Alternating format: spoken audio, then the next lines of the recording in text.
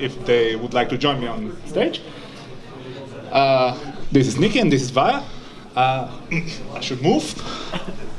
Uh, and uh, this is our game. With a topic like repair, the options were quite limited, or at least it was quite difficult to be creative like the last guys.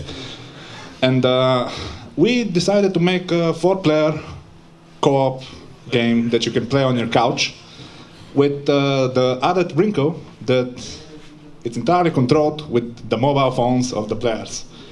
And if uh, the other player can press, uh, oh, we can press connect, as you can see, the entire game is controlled entirely by the movement of uh, the phone.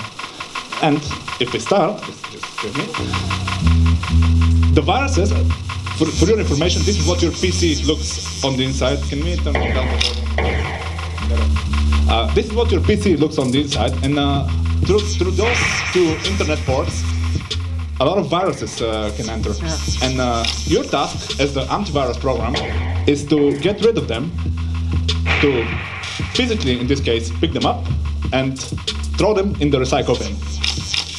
And the virus's task, on the other hand, is to destroy your components and ruin your PC. You, as a program, again, have the ability to pick up the pieces and maybe try to repair them, but we obviously failed.